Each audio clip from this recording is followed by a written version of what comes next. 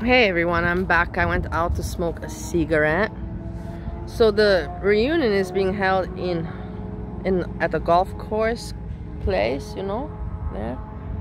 The golf course is very nice. It's clean. It's, golf course is golf course.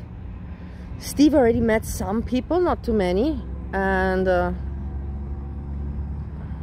I don't know how it. I, I hope that it's fun for him, and I'm gonna do my best to make it nice for him. This is the first time he comes to a reunion and he's not very social but I'm trying now he says because he's drinking today because we took take Uber because we don't drink and drive.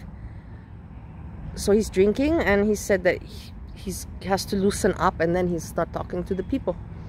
I hope it will be a fun uh, night. I really want him to have a good time because he deserves to also have a good time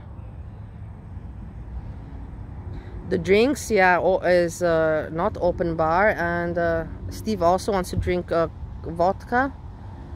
So vo one vodka juice is six dollars. I find that very expensive but okay.